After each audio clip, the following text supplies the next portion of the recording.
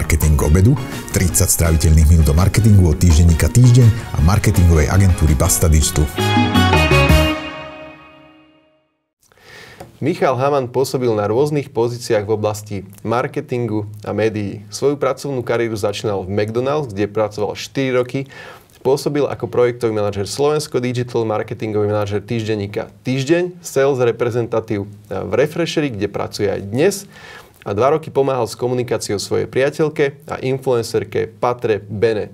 S Michalom sa budeme rozprávať o tom, čo robia influenceri a influencerky preto, aby sa predali a aké je to žiť vedľa nich. Michal, vítaj v relácii Marketing obedu. Ďakujem za pozvanie. Eh, ja som na tvojom LinkedIne vyčítal, že si robil v Mekáči. Eh, naozaj, že od čistenia záchodov až po floor manažera. Čo robí floor manažer a čo ti to dalo eh, do, tvojich, do tvojej dnešnej kariéry? Tak na úvod možno, že keby som sa mal to dneska historicky spätne pozrieť, čo mi to dalo, ako tú najdôležitejšiu vec, tak tam som sa spoznal s Patrou.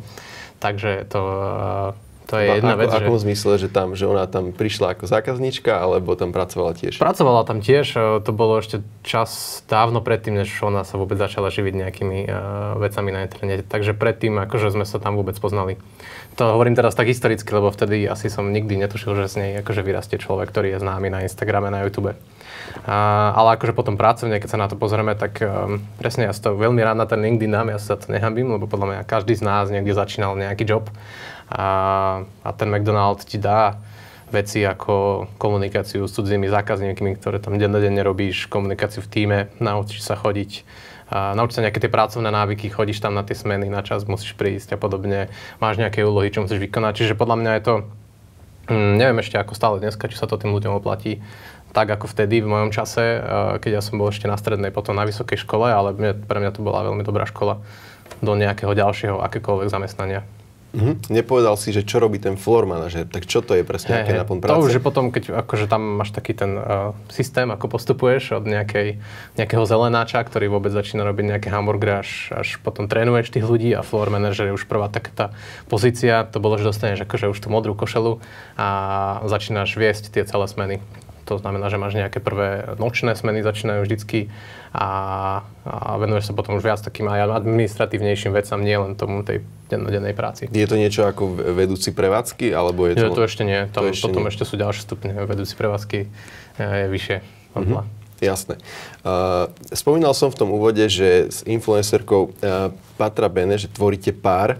Uh, ju sleduje na Instagrame vyše 200 tisíc ľudí a v relácii Silná zostava, ktorá bola nedávno na RTVS, som videl, že ona sa tým reálne živí. Koľko zaberá influencerke takáto práca zo dňa?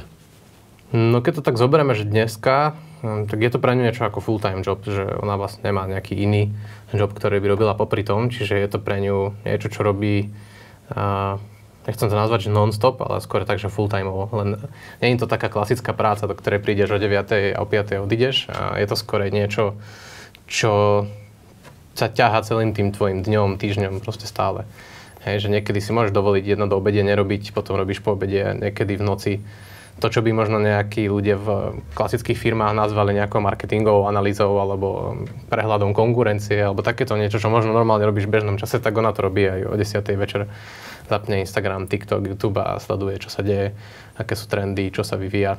Takže ťažko sa to dá niekedy premietnúť do nejakých akože reálnych časov, že koľko niekedy, niektoré veci trvajú. Ale v princípe akože odpoveď jednoznačná je, že je to full-time job. Niekedy aj možno trochu viac. Mm-hmm. Do toho ty, dávaš ako 8 hodín denne. Ty pôsobíš ako sales reprezentatív v Refreshery, to znamená ale, že tebe v nejakom bode takzvané padla, to znamená napríklad neviem, o 5. prídeš domov a stáva sa, že tvoja priateľka stále niečo robí a aj keď pozera do mobilu, tak môže povedať, že pracuje. Áno, presne tak, že ona môže v veľa situáciách povedať, že stále pracuje. Hej, a napríklad keď riešiš, ja neviem, že fotky, tak čakáš na nejakú dobrú polohu slnka. Napríklad, že častokrát tá dobrá poloha slnka býva, že keď zapada. Čiže v lete teraz niekedy pod večer, večer mm, sa najlepšie fotí, dajme tomu, že nie je cez deň, keď je priame slnko. Takže áno, že a keď prídem domov, tak ona ešte väčšinou pracuje, alebo sú teda mnohé dni, kedy ona ešte sa venuje tým svojim veciam aj, aj tedy, keď som ja doma a už mám po. Uh-huh. Patre Bene si pomáhal, uh, ak sa nemýlim, takmer dva roky s komunikáciou. Um, prezrať mi prosím ťa, čo robí influencerka na to, aby zvýšila počet sledovateľov a tým možno, že aj nejakú svoju prestíž a cenu.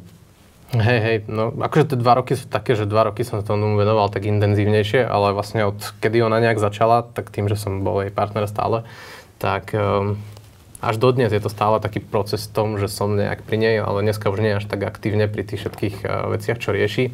Alebo respektíve nie je tak aktívne pri tých uh, dealoch s firmami, že to si už robí dneska sama a, ale stále akože som od tej pozície toho, že pomocný fotograf, pomocný natáčač, hm, pomocný konzultant marketingu a neviem, aké funkcie by som si mohol vymysleť v rôznorodé, tak to robím stále aj dodnes. A práve v tých večerných časoch, hej, sadneme si, bavíme sa, pozrieme spolu tie Instagramy iné, ten jej, rozmýšľame, čo ako robiť, ako fungovať, ako nefungovať do čoho ísť, niekedy do čoho neísť a podobne. Čiže napriek tomu, že už dneska nie som v tej role tak aktívne, ako predtým, tak stále je to podľa mňa, že dennodenná aj moja taká, čo, nenazviem to, neviem, či sa to dá nazvať prácou alebo neprácou, takou, takým, takou nejakou aktivitou, že stále nejakým spôsobom pomáham s tými vecami. Mm-hmm. Dobre, ale nepovedal si, že čo robí preto, aby mala viac sledovateľov? Hej, um, to je taká komplikovaná otázka, pretože... Um, Alebo takto, je to len o tom, že uh, dá sa to len tak povedať, že však kvalitný obsah, alebo aj niečo také sofistikovanejšie? Áno, akože nejaká jednoduchá otázka bola presne to, že tvoriť dobrý obsah pravidelne a, a nejakým spôsobom fungovať so svojím publikom, so svojou komunitou. A to je presne aj tá odpoveď na tú otázku, že čo robiť, aby, akože, aby rástla ďalej, alebo, alebo tak, že ona na to nepozerá takto systematicky ako nejaké firmy, že teraz akože musí byť niekde nejaká krivka rastu hm, nastavená, alebo nejaký hokejový graf, že teraz akože smerujeme a budem robiť všetky body len preto, aby som proste rástla stále že ona to takýmto spôsobom neberie. Ona proste v nejakom momente získala, alebo postupným, postupnou prácou získala nejakú tú komunitu tých ľudí, ktorí ju sledujú, s ktorou teda pracuje. A, a, a hej, presne, že veľmi dôležitý je ten kvalitný obsah, to, aký obsah robí, čo im vlastne hovorí. Častokrát je to založené pri týchto influencoroch aj celkovo, ale aj pri nej na tom, aký má ona životný štýl, čo ona sa v tom živote rozhodne venovať, čiže aj za tie roky sa to trochu vyvíja, kam sa ona sposúva a čo, čo ju viac začína baviť. Uh-huh. Uh, sú tam aj také strategické rozhodnutia. Mm, poviem príklad. Včera, keď som sa bavil o tomto uh, s mojimi kolegami, že akú časť marketingu k obedu idem nahrávať s tebou, tak mi povedala kolegyňa, že, že Patru Bene, že sleduje veľa, akože ona to nazvala, že deti. Hej, to znamená, že moja sestra, ktorá má, neviem, 14 rokov alebo 13 rokov, že ju sleduje. Uh, to znamená, že influencerka uh, a konkrétne Patra, keď si povie, že tak sledujú ma aj ľudia, ktorí sú pod 15 rokov, idem na TikTok, môže takéto nejaké rozhodovanie tam e, prísť, že rozhodnem sa ísť na TikTok najmä kvôli tomu, že moja cieľovka má toľko rokov, lebo to by som už považoval za taký krok, aby som zvýšil počet sledovateľov, že idem na nejakú novú sociálnu sieť. Áno, a, a to je to, že akože, ako bereme všetkých influencerov, aká je možno patra, hej, že mnohí influenceri to takto presne strategicky zvažujú, že áno, bol som na YouTube, teraz akože ten YouTube už ide tak poslabšie, veľa tých ľudí, aj tých mladších, ako ty hovoríš, odišlo z toho YouTube na TikTok, tak idem teda aj ja radšej robiť na TikTok videá. A, ale Patra takýmto spôsobom strategicky neuvažuje, čiže to je preto aj tá odpoveď na to, že asi nie, neuvažuje na to takto, že a teraz akože začal strašne byť trendový TikTok, tak idem tam a budem akože bušiť videjka. Že nie, jej proste najviac vyhovuje teraz ten Instagram, od toho YouTube už teraz tak upustila, preto tvorí najviac tam. Tam ale už samozrejme mm, zase nie je to také, že by nikdy nezvažovala, čo aký obsah urobiť a neurobiť. A nesleduje, samozrejme, že sleduje tie čísla, ak dosahujú tie príspevky a sleduje to, že možno čo, keď ona urobí, tak čo sa stane. Akože, mm-hmm. um, nehovorím, že ne, neuvažuje vôbec strategicky, ale nechce to robiť akože strategicky v takom zmysle, že musím rásť za každú cenu a musím rásť v tej mojej cieľovke do 15. Hej, že to ona takto vôbec nevníma. Nedávalo by zmysel pre influencerov a influencerky, aby uh, obsadili alebo aby plnili obsahom čo najviac kanálov. To znamená, že ak Patra mala 200 tisíc sledovateľov na YouTube, dáva zmysel, aby z toho YouTube akože odišla, respektíve aby prestala publikovať a bola iba na Instagrame, alebo podľa teba by možno, že v, ne, v nejakej situácii bolo rozumné YouTube, Facebook, Instagram, TikTok No, podľa mňa by to bolo samozrejme výborné, keby eh, ten človek to naplánoval, rozplánoval, ktoré tie siete ako pokrývať, lebo však dá sa to tak spraviť, určite vie, že keď spravíš jedno video, nejakým dobrým spôsobom, tak ho vieš potom buď rozsekať na menšie časti, vieš ho rozdistribuovať na tie jednotlivé kanály, dá sa so všeličím akože rôznym typom pohrať. Ale a napríklad pri tej samotnej patre, alebo aj pri mnohých influenceroch, podľa mňa je to o tom, že oni sú akože tí kreatívci, oni m, mm, tam do toho dávajú celého aj nejakú tú umeleckú hodnotu, a idú do toho často emočne citovo, že nie, všetko je nejaké kalkulované a proste ona keď si povie, že chce a teraz veľmi chce byť akože zameraná na ten Instagram, tak je iba tam TikTok je zatiaľ nejako hm, nepriskol k srdcu, alebo akože nejak je, nejak je to nesedí proste, tak tam nejde. Aj keď teda robí reely teraz na Instagrame. A takisto ten, ten YouTube nejako aj fungoval, tam vlastne ona hm, vyrastla za tie roky. Ten YouTube sa tiež zmenil, celé to prostredie tých kreatívcov, ktorí tam fungujú, sa zmenilo za tie roky. A, a možno je to, že dneska nevyhovuje, tak je to vyhovovalo predtým, tak preto akože sústredia na ten Instagram. Uh-huh. A možno je to aj celkom časovo náročné, aby človek vlastne tvoril toľko obsahu a e, na YouTube asi nedáš to isté, čo na Instagram. To znamená, že, že by to bol, mohol, mohol byť veľký časový náklad všetko toto pokryť a potreboval by nebodaj nejakú agentúru na to, aby jej proste nejaký tým ľudí, ktorí by to spracovalo. No, hej, hej, no. akože súhlas, tebe súhlasím, že presne keď ona ten YouTube robila tie roky, tak to bolo presne, že veľmi ju to tlačilo, že musí aspoň to jedno video za týždeň vydať, niekedy je teda dve alebo tri a, a presne to bolo brutálne časovo náročné, lebo však vieš, aká je produkcia videa od toho začiatku, že vymysleť vôbec, že čo, až, až po to, že zohnať nejaké nápady, dať dokopy možno nejaké produkty, alebo proste čokoľvek sa v tom videu um, naskytne, až po to, že točiť potom to nastrihať, potom uvažovať, ako to celé urobiť tak, aby to na tom YouTube fungovalo, čiže názov, thumbnail, všetko o tom. A tento proces akože absolvovať každý týždeň, alebo proste akože na tej týždennej báze, je neskutočne náročné. To je mm, podľa mňa ako v tomto ten Instagram je menej produkčne náročný častokrát, keď vieš iba nejakú fotku alebo nejaké video, ktoré natočíš na mobil použiť. Presne. Mm-hmm. Ako seriózne pristupuje influencerka k plánovaniu obsahu a teraz myslím najmä z toho pohľadu, že či používa pritom nejaké tabulky alebo túly, napríklad e, na plánovanie obsahu niektoré agentúry používajú Contentino. Existuje niečo takéto vo svete influencerov alebo nie? No, tak opäť, akože každý influencer to môže mať rôzne, určite niektorí používajú aj takéto nástroje. Patra nepoužíva akože takto konkrétne nejakú apku, ani nemá nejaký kalendár, akože príspevkov, čo by si ručne vypisovala.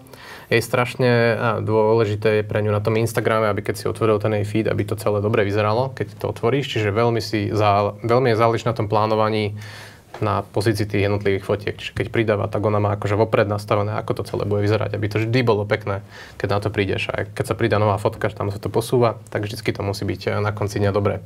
A samozrejme, keď do toho vstupujú nejaké spolupráce, tie majú potom nejaké timingy, čiže a vieš, tento týždeň musím dať spoluprácu s tým, tento týždeň s tým, niekedy sa to nakopí, tak je toho viac.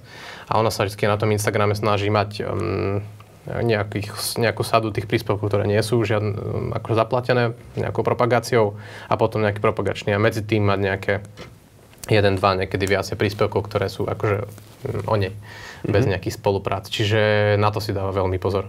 Čiže nemá na to akože tak nejak veľmi vypracovaný plán, ani apku, ani nejaký akože mm, ručne napísaný, ale, ale celé si to tak nejak v hlave stráži, aby, aby to um, dávalo zmysel. Nemôže, nemôže sa stať potom, že má dohodnutú platenú spoluprácu s nejakou značkou a povedzme, že tri príspevky a zabudne a dá iba dva, keď to drží celé iba v hlave? Hmm, nemyslím si, že sa také niečo stalo. A nedrží to iba v hlave, ako samozrejme, že v e-mailoch a komunikujú s tebou tí ľudia z firiem agentúr, čiže a ty sa hneď ozvú, keď niečo nie je vypublikované vtedy, kedy, malo, kedy by malo byť. Čiže ani to sa nejako nestane, že by na to zabudla Mm-hmm. Takže myslím na to. Tak jasné, že sú dni, keď si spomenie, že ale dneska musím robiť storky, e, alebo to má niekto zapísané, že dneska ich musím spraviť, tak si na to spomenie ten deň, ale a, akože, že by sa jej stalo, že by zabudala, tak to nie. Používa Patra e, niekedy aj e, platenú reklamu alebo platenú podporu príspevkov, alebo sa vždy spolieha len na organické šírenie? No toto je taký, podľa mňa pri tých, že aj kreatívcoch, aj hudobníkoch je Veľa z tých ľudí to podľa mňa vníma tak, že keď si niečo ideš platiť, akýkoľvek ten príspevok, tak to znamená, že sa ti nedarí. Čiže všetci títo kreatívci, rôzni influenceri a aj hudobníci teda podľa mňa to tak vnímajú a aj Patra to takýmto spôsobom vníma, že ona keď si má už nejaký príspevok platiť, tak by to znamenalo, že proste, že, že jej sa to nepáči, keď niekto iný si platí príspevok, akože influencer, aby ho ona videla Aj keď chápem teda pohľad z Ale deje sa to vôbec niekedy, že to, že to platia influencery? No Patra si nepropaguje vôbec príspevky mm, a iní Občas nejakých vidím, že sa niečo zasponzorujú aj pre rôzne dôvody. Skorej, keď sa to deje, tak je to tak, že keď máš na Instagrame, že um, ten uh, paid partnership s nejakou firmou, tak tá firma to môže zaplatiť. To sa skore deje, že nejaká firma OK, tak už Patra vypracovala nejaký príspevok, niečo hovorí a chce to akože boostnúť ešte ďalej, tak tá firma to akože urobí. Mm-hmm. Ale nie, že by Patra teraz, že o, a tento príspevok nejde, tak do neho nalajem 100 eur, alebo tak. Takže to je nejaká vec aj hrdosti, že nebudem to platiť, lebo... Áno, lebo vlastne tí influenceri e, si podľa mňa nejak mm, dávajú záležať na tej organickosti toho, že vec, oni akože čo predávajú, ten marketingový priestor, tak je podľa mňa, že organicky. Predávajú tú, tú schopnosť organicky dosiahnuť uh, tie výsledky či už na tom, e, vlastne keď začínala na tom YouTube, tak to naozaj bolo o tom, že tam si vieš veľmi pekne vypracovať z nulového kanálu na veľký kanál, keď e, pravidelne tvoríš tak, ako máš, dodržiavaš nejaké veci a začneš tvoriť nejakým spôsobom, získaš tú cieľovku. A tak, a tak potom postupne na Instagrame takisto aj keď teda tie algoritmy čím ďalej e, ničia, hej, lebo však e, keď ten Instagram sa viac približuje tomu Facebooku ako takému, tak samozrejme, že to postupne zvádza k tomu, že OK, sa to ukazuje, e, keď vydá nejaký príspevok čoraz menšiemu publiku a ideálne samozrejme firmy alebo nejaké väčšie spoločnosti si to platia, aby sa to akože potom zobrazovalo viacej. Takže uvidíme do budúcna, no, ale teraz je prax taká, hej, že že ako si to povedal, je to taká hrdosť, že nechceš, nechceš si platiť tie príspevky. Ty chceš dosiahnuť to, ako ten kreatívec, že, že ty vieš, ako to celé funguje, ako funguje ten Instagram a vieš, čo máš dať, aby to oslovilo tú tvoju komunitu. Rozumiem na druhej strane, e, keď tie algoritmy fungujú tak, že proste v záplave príspevkov neviem, na, e, na Facebooku, ktoré ľudia vidia napríklad, e, aby si sa vôbec dostal pred ich oči, tak my to často klientom hovoríme, že proste musíš to zaplatiť, lebo inak to nejde, uvidí to len zlomok tvojho vlastného publika tak možno, že by to dávalo zmysel. E, ja som sa chcel spýtať už pred dvoma otázkami jednu vec, že či e, má Patra nejaký cieľ, taký, že proste do konca roka chcem mať 300 tisíc a teraz e, sledujem priebežne, či sa to naplňa, alebo to je v jej prípade úplne, že jej to je jedno a hmm. sleduje len, že ako sa to vyvíja. Je to také, že nemá taký cieľ, sleduje, ako sa to vyvíja, není je to akože vôbec jedno, hej, že akože vždy lepšie, keď ti to nejakým spôsobom rastie. Dať si takýto cieľ je pre tých kreatívcov opäť je to to, že niečo by si musel aj platiť, niečo by si musel veľmi strategicky robiť, aby si akože dosahoval tie čísla, čo niekedy v konečnom dôsledku by sa potom nemuselo páčiť tým používateľom, lebo by si musel robiť také kroky, ktoré nie sú úplne že prívetivé voči tomu publiku tvojmu a možno aj to je to, že taký ten kruh, že zase to publikum ťa sleduje, lebo si nejaký človek, nejakým spôsobom funguješ, nejaké veci nebudeš robiť tak, takýmto spôsobom. Takže, uh, ale odbieham k tej otázke, že není takýto plán, že chcem mať do konca roka 300 tisíc. Uh, proste funguje tak, ako funguje, že keď tí ľudia ju budú chcieť sledovať a sledujú ju, uh, tak je to bude postupne rásť nejakým spôsobom, aj že keď téma, ktorá sa teraz venuje, napríklad izbové rastliny, sú teraz taká obľúbená téma, bude zaujímať nejakú väčšiu skupinu ľudí, tak ne nejakí prídu, nejaký možno odbudnú, možno z tej mladšej cieľovky, ako si hovoril, a to vníma tvoja kolegyňa a bude sa to postupne, aj sa to mení, akože aj tá cieľovka ale nevníma teraz tak strategicky, že tak teraz budem akože robiť naozaj iba kontent pre tých starých, starších ľudí a, a, tak. Skoro to bere tak viac presne, že je v tom taká tá podľa mňa umeleckosť toho človeka, že berem to tak, ako to cítim a tak to chcem robiť. A keď je to raz prestane fungovať takýmto štýlom, tak e, ako nemá problém sa zamestnať niekde inde. Jasné. Čo urobí influencerka, keď zistí, že produkt, ktorý promuje v nejakej platenej spolupráci, nie je dosť dobrý? Keď to zistí, povedzme, že počas toho, ako používa, alebo potom? No, ako všeobecné influencerky asi to berú rôznorodými spôsobmi, aspoň však to, čo vidíme eh, niekedy tie výsledky. Ale ako to bere Patra, tak je to vec podľa mňa nejakého prístupu toho aj, že s kým vôbec chceš robiť a, a s kým nechceš robiť. To si podľa mňa tiež nejakým spôsobom by si mal každý zadefinovať, aj keď nejakým spôsobom narastie tak samozrejme chodia tie ponuky od rôznych firiem a ty sám, alebo ty sám asi musíš povedať, že s kým ja chcem robiť a nechcem robiť.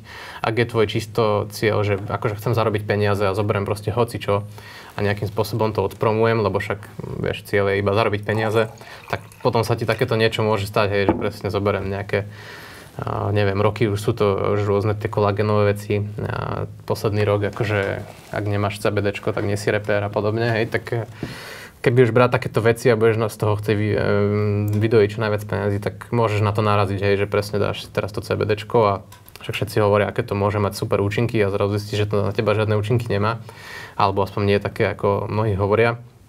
Tak sa to môže presne stať. A na toto sa napríklad Patra dáva veľký, veľký pozor, že ona vôbec nejde do takýchto typov spoluprác a aj do tých spoluprác, ktorých ide, tak um, sú to také produkty, ktoré akože buď sama používa, alebo sama stotožnená s tou značkou, a, alebo nejakým spôsobom si to, už keď akože je to nejaký nový produkt a ešte ho nikdy nemala, tak si ho vypýta vopred, vyskúša si ho a, a promuje ho až potom, aby aj vedela, že čo o tom produkte vlastne môže povedať. Lebo dajme tomu, že dostala nejaký krém od nejakej kozmetickej firmy a povedal, že tento je najlepší, dá sa na tvár a za dva dní bude celá červená vyhadzaná, hej, tak eh, to by asi a sa spreneverila všetkým svojim sledovateľom aj sa, sama sebe. Že to je pre ňu taká opäť nejaká tá hrdosť, hej, že ona nechce propagovať hocičo. Ona už aj tým, ako a, to robí dlhé roky mm, a akým spôsobom už má vybudované tie vzťahy s tými firmami, tak ona sa zameriava len na spolupráce s takými firmami, ktoré sú jej blízke značky, ktoré akože mm, pozná, ktoré sú roznateľné a, a tie, ktoré akože majú aj tie potom produkty, ktoré každý nejakým spôsobom pozná. Jasné. Uh, ja som našim sledovateľom, divákom alebo poslucháčom slúbil, že sa ťa budem pýtať aj to, ako je žiť vedľa influencerky. A zaujímavé teda, že aké to je. Povedzme, že idete na večeru automaticky očakávaš, že si bude fotiť jedlo, ktoré si objednáte, alebo to všetko vybaví ešte, keď si ty v práci a ona pracuje? Uh, hej, toto mi príde taký, taký stereotyp toho, vieš, že teraz akože influencerka všetko si všetko všade fotí, že nie je to vôbec také. Akože niekedy áno, hej, že odfotí si to, keď, ide na ne, keď je tam niečo naozaj pekné, a tak to si odfotím aj ja, vieš, že nie iba ona aby to muselo byť na tom Instagrame, mm, a, ale ne, nebere to presne takto, že všetko si musím odfotiť a teraz akože tie fotky, ak sa postaví na stoličku a musí to dať z vrchu, aby to bolo krajšie a podobne. A jasné, že máme aj také zážitky a, a bolo aj také, ale veľkú väčšinu to tak nie že by musela všetko fotiť a natáčať. Čiže tomto je to podľa mňa úplne v pohode. Možno boli také časti toho nášho celého fungovania, kde to bolo viacej, že viacej sa venovalo tej práci. Mali sme raz spoluprácu s jednou cestovnou kanceláriou a na dovolenke, na ktorú sme išli, sme museli akože produkovať výstupy, čiže fotiť a točiť. Ale stále to vieš sklbiť. A na tej dovolenke, napríklad, keď si obyčajný človek, aj tak fotíš, aj tak Mm, hej, tak si predstavím stereotypného otecka s kamerkou, ktorý beha a všetko si točí. Aj tak to tam zažiješ, vieš, že to sú, to, mm, je to častokrát podľa mňa o tom, ako to ty bereš ako človek. Či to ty teraz bereš, že každé fotenie je práca a musím zase odfotiť a zase sa chceš fotiť, alebo to bereš už ako takúto prirodzenú súčasť fungovania. Čo som sa ja podľa mňa naučil a my sme sa tak naučili to brať ako nejakú normálnu súčasť že jasné, nie sú, nie sú nejaké momenty, kedy sa mi nechce tá fotka odfotiť. Jasné, jasné. A, um, slova ako toto už bude posledné, tak milujem, ale uh, už to keď, bereme. Ako keď súčasť. odfotíš zle, tak to nebude dobre, tak ešte raz. Ešte. Hej, hej, hej, no presne, hej, že akože odfotím, pozrie si tú fotku, ešte poď, ešte tu skúsime takýto uhol, takto. A to už bude posledné, hovorím, že to už je posledné. Odfotíme, a ešte skúsime takto, no však. Ale to podľa mňa sa zažije človek dneska nielen z influencerkou, však každý dneska chce mať, vieš, doba Instagramová, tak všetci chcú mať pekné fotky, dobre vyzerať a tak, čiže opäť to sú veci, ktoré zažiješ aj, aj mimo toho, že by si bol s influencerkou. Patra Bene v relácii Silná zostava, e, ktorá bola na RTVS, povedala, že Instagram je niečo ako jej virtuálny priateľ, že ktoré ju aj pochváli, ktorému ona poradí a tak ďalej a tak ďalej. Ako ťažké je pre influencerku odtrhnúť sa od tej pozornosti publika? E, dokáže vypnúť a povedzme, že keď by si povedal, že teraz dva týždne daj si detox od e, mobilu a tak, tak dá sa to zvládnuť, alebo je to už taká akože trošku závislosť? Uh, to, akože, či by sa dokázalo trhnúť dva týždne od mobilu, to neviem povedať, nikdy to neskúsila, čiže asi by to bolo náročné, si myslím, aj pre ňu lebo však všetci sme od tých našich malých zariadení tak nejak závislí jemne, a niektorí viac, niektorí menej. A, ale akože mm, nemá podľa mňa nejaký problém, že odloží teraz mobil a pozerať film, hej, že pri filme 4 krát musí ísť na mobil a odpísať tým ľuďom. Nie, ale je to také, že keď proste teraz idem dávať fotku, tak teraz ma neruš pol hodinu, lebo proste ja sa sústrediť na to, čo tam napíšem, ako to bude vyzerať. A potom postovanie fotky, teda riešiš nejaké komentáre, nejaké veci, čo ti píšu ľudia Uh, ale zase by som to otočila na tú druhú stranu, ako to aj povedala, že nie ako, že ten Instagram je priateľ ako taký, ale že tí ľudia na tom, tá jej komunita sú vlastne častokrát, aj keď mnohých nikdy nevidela, tak môžu byť akože dobrými kamošmi. A aj teraz presne, že ako sa zaoberá tými izbovými rastlinami, tak sem tam je niečo zomre alebo má nejaký problém, tak to hodí na ten Instagram a vždy sa tam nájdú ľudia, ktorí sa aj do tých rastlín trochu viac vyznajú a vedia aj nejakým spôsobom poradiť, niečo s nimi konzultovať a tak. Čiže v tomto zmysle je to aj taká pre ňu, mm, pre ňu také akože niečo, čo ty bežne ako bežný človek bereš, že to sú tvoji kamaráti, ktorí ho sloví, že, že Fero, Jožo, povedzte mi, ako opravím auto, tak ona to hodí na tú svoju storku a tam sa niekto nájde, kto jej pomôže, ako opraviť to auto, alebo ju nasmeruje, že chod. Mne keď sa niekedy zadarí, akože na LinkedIn napríklad, publikovať niečo, čo má 10 komentárov, tak som taký, že sledujem a teraz sa lajknem rýchlo e, komentár, odpoviem, som rád celý. A teraz neviem si naozaj predstaviť, že keby som toto zažíval, že e, niekoľkokrát do dňa, že by som Uh, možno, že keď už niekto sa obrní alebo je zvyknutý, je to inak, ale ja si to neviem predstaviť, lebo by som stále do toho mobilu kúkal a sledoval, čo sa tam deje, kto ma zdieľal a tak ďalej a tak ďalej. E, to, na toto narážam. Nie mm-hmm. je mhm. to také, že, že či ťa to už niekedy otravuje, že to je po zobudení prvá vec, čo po, á, mám tu 250 nových komentárov a teraz sorry, že neviem, chcel by si mať možno spolu raňajky alebo čo, ale ja tu mám neodložiteľnú vec. Nie je to niekedy otravné?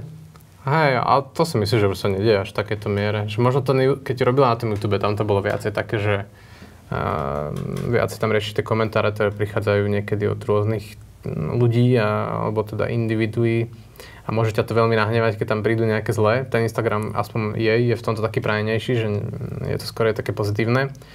A, ale vie sa od toho odskedy otrhnúť, hej, že nie je to problém. Na tom YouTube som vie, že častokrát odporúčalo aj to, aby si akože na tie komentáre odpovedal, lajkoval to. Tak to akože nie vždy ona robila, lebo presne, že nechcela tomu venovať každý, každú minútu svojho života. Nedá sa to proste stále. Možno to je iné, keď si na to zvyknutý, vieš, že keď to zažívaš stále, nie je to pre teba také terno, ako možno pre mňa. Hej, a hlavne to treba tak vždy vnímať, lebo ľudia vnímajú len to, že teraz, hej, že Patra má teraz 200 tisíc na nejaké sociálne sieti a niečo tam robí, ale ono to bol akože dlhý organický rast proste rokov. Hm, koľko to už je 5-6 rokov, akože koľko ona tvorila na ten YouTube, že ono to postupne nástlo, čiže to bol aj taký postupný vývoj toho, že najskôr neboli žiadne komentáre, potom nejaké, potom čoraz viac a podobne. A Čiže potom to hej presne, že inak bereš. Vieš, ty sa, ešte keď máš tých komentárov málo, však aj ja keď niečo dám niekde a tam sa ozvú nejakí ľudia, tak si z toho happy, hej, že sa tešíš, že to nejakých ľudí zaujíma. A potom keď už to príde, že nejaká masa sa zaujíma, tak musíš viac selektovať možno. Hej, neodpis, neodpisuješ na všetko, na všetky komentáre a tak to aj v tých správach si vieš potom na Instagrame nastaviť, že kto ti môže písať, nemôže, lebo tam nechceš, aby ti písal úplne zase každý. Niektoré povolania sú také, že ich v nejakom bode svojho života proste zavesíš na klinec. Hej. Povedzme, že si hokejista, no už si máš 40 rokov, tak už stačilo a už robíš niečo iné. E, môžeš začať napríklad podnikať. E, to isté pri iných povolaniach. Hej. Marketer v nejakom bode možno príde do dôchodku a už bude svoju záhradku riešiť a tak. E, ako to je s influencermi a s influencerkami podľa teba? Dá sa tomuto niekedy uniknúť, alebo si povedať, že kašlem na to a nechám tam tých 200 tisíc ľudí, nech si sledujú niekoho iného? Hmm. Alebo si nad tým nikdy nerozmýšľal, že to je vlastne na celý život? Podľa mňa mnohí z nich nad tým nikdy tak nerozmýšľajú. Je to akože jasné, že nejakí influenceri tu boli aj, aj predtým, rôzni herci známi a podobne. Pre nich to evidentne bolo a je dodnes na celý život, čak vidíme, že stále sú proste v telke a tak. Nevieme historicky nejako povedať, aké to je s tými ľuďmi, ktorí sú takíto, že internetovo známi ľudia, lebo to je to tak nové, že to boli mladí ľudia, ktorí ako tam začali nejako fungovať, teraz majú medzi 20-30, okrem nejakých tých starších, ktorí sa tomu venujú dlhšie, ale to sú skôr nejakí hudobníci a podobne. A, takže nevieme, že ako bude vyzerať ten, ten proces neskôr, že či akože, keď teraz si povieš na to kašlem, vypne to, tak akože zo dňa na deň e, môže to spraviť, alebo že aj tak budú ľudia niekde vonku stretávať a pýtať sa aj Patra, kedy bude ďalšie video, kedy bude ďalšia fotka alebo niečo. To práve, že hej, že nevieme to povedať. Až tak sa nad tým uh, úplne nezamýšľame. Alebo než nezamýšľame sa na tom v takejto otázke. Bavíme sa o tom niekedy presne takým skorej spôsobom, že však uh, tá sláva tých ľudí je nejaká taká pominuteľná, hej, že chvíľku akože si trendy, potom prídu zase nejaká nová, mladšia vrstva tých ľudí, ktorí sú známi na internete A, a nie je to také ako tí, tí herci, ktorí celý svoj život sú známi, lebo stále ich vidíš každý, každú sezónu v nejakom novom filme, v nejakom novom prevedení. Tí influenceri na tom internete môžu byť takí, že proste nejaké obdobie fungujú a sú proste brutálne známi a potom môže sa stať, že úplne upadnú do zabudnutia alebo že je nebudeš nejako vnímať. Takže tie cesty sú rôzne, no a to uvidíme akože v budúcnosti. Ale to som ti, ja myslím, že sme sa tu niekedy k tomu dostali, že Patra je pripravená, že keď toto omrzí, tak ísť do nejakej inej roboty. Ona si aj teraz akože takým spôsobom, takým nejakým svojím spôsobom začala robiť eh, svoj malý e-shopík, eh, sa volá, že Inspiari a tam sa venuje tomu, čo vždy bavilo, čiže tam sú také fixky predáva a také plánovače a takéto drobné veci. Čiže sa tak učí akože nejakým spôsobom nejaké fungovanie takého naozajstného e-shopu a, ktorý si rieši celý sama, popri tom všetkom, čo robí. Možno bude ako Takže... Blue Grandma, vieš, že tá síce začala asi až na dôchodku.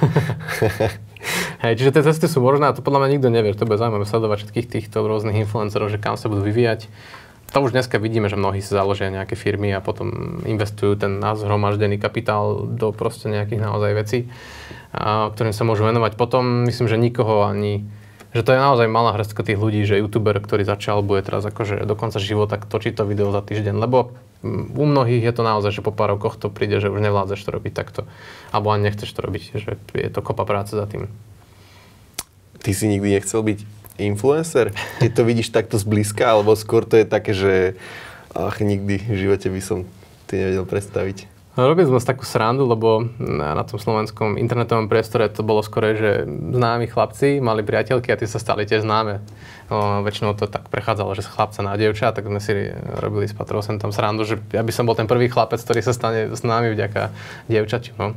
Ale nejako som sa vydal cestou, však jak si hovorila, i takých tých norm, normálnejších, klasickejších zamestnaní by som to nazval, že a neviem, akože, či by ma to nejak veľmi naplňalo. A je to také, že veľmi veľa ľudí to už robí a mne to nepáči. Ja som sa tiež v malosti venoval aj repu a, a už sa mu to ne, nevenujem, lebo že toľko tých reperov, že ma to nebaví. Akože byť ďalší 150 tisíci v rade a, a takisto tých influencerov už v nejakom momente bolo podľa mňa tak veľa, že teda akože budeme ja ten ďalší zase, že hm, musel by som priniesť niečo naozaj zaujímavé, hej, že teraz na TikToku, keď vidíš tých ľudí, ktorí tam akože vzniknú, aj takých tých zahraničných, tak prídu s nejakou akože zaujímavou myšlienkou. A niečo proste robia teraz, e, taký ten, ten Černoh, vieš, čo, e, čo je také strašné memečko, či, e, čo robí a, že ako nejakí ľudia robia viac komplikovane a on ukáže, ako to robí jednoducho. Hej, akože úplne jednoduchá a, somarinka, ale na tom proste vyrastol teraz. Je medzi top 10 tiktokermi úplne v pohode. Takže keď ma niečo takéto napadne a proste, že bude to nejaký geniálny nápad internetový, tak není problém. Ale že aby som teraz ja začal byť ja neviem, 50. človek, alebo už možno 500. človek, ktorý bude hrať počítačové hry a natáčať sa pri tom, tak to ma nejak neláka. Michal, sme v marketingu k obedu a ty by si nás mohol inšpirovať. Čo si dnes dáš na obed? No, pôjdem tuto do Jasmína, takže takú, ak uh, sú to ľudia, ktorí počúvajú a sledujú z Bratislavy, tak poznajú túto legendárnu reštauráciu. Takže niečo tam, no akože už nebol som tam tak dlho, ako bol teraz COVID, tak neviem, či tam majú stále to isté, čo predtým, alebo niečo úplne iné. No to je super tip určite. Ďakujem Michal za to, že sa zúčastnil a aj takisto za super odpovede. Dobre, ďakujem aj ja za príjemný pokec.